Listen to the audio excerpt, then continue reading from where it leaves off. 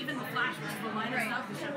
I no, you know what? I think we spent a lot of time last season cultivating how we, we wanted the show to feel and, and what she stands for really speaks for all of that. I think um, Supergirl herself.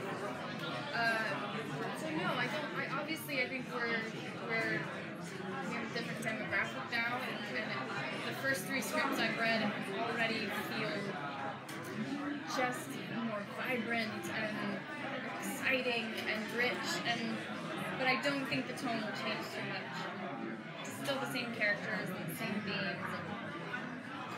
When you when you got the part of Supergirl, did you already have an idea in your mind on the persona that you wanted to build for that character and how you wanted to portray her? I guess I didn't really have it in mind, but I think I just immediately thought of her as a dork. Yeah. I mean, that's how I played her from my very first audition. I just thought she was someone who hadn't quite figured out who she was and was awkward in her skin and, and didn't really know how to be herself fully. And that's what we've been exploring, and I think she's just going to keep showing that way. Yeah, that was my first reaction. Was, oh, this girl's a dweeb. and I love her. What was, oh, what was your reaction to hearing you're going to see Superman? I think it's the perfect time. And I, I, all of the interactions that she had with him last season through the instant messaging and texting, it never felt like enough to me.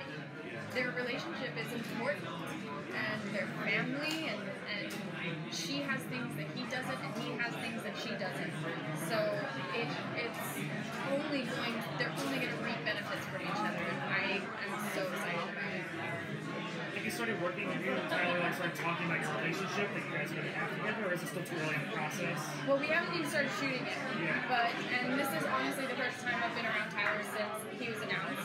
But I, I definitely think like once we get up there and when we're in the suits together, like that's gonna be amazing. So Kara got a job offer at the end of season one. yeah. But it wasn't really defined. Is she going to be trying out a couple of different ideas, or does she know where she wants to go?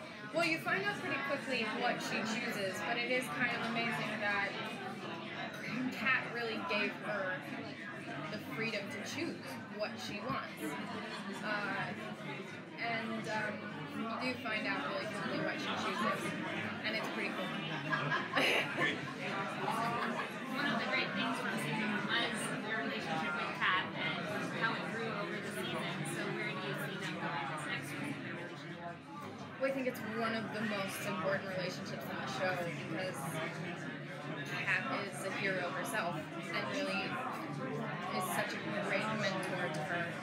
But what I am excited about the most in season two is just seeing how much Kara can come into her own as a woman, not just as Supergirl, but in her career, in her love life, and obviously you can't, she can't, Cat is such a voice of reason in her career in, in, in any in any facet of her life.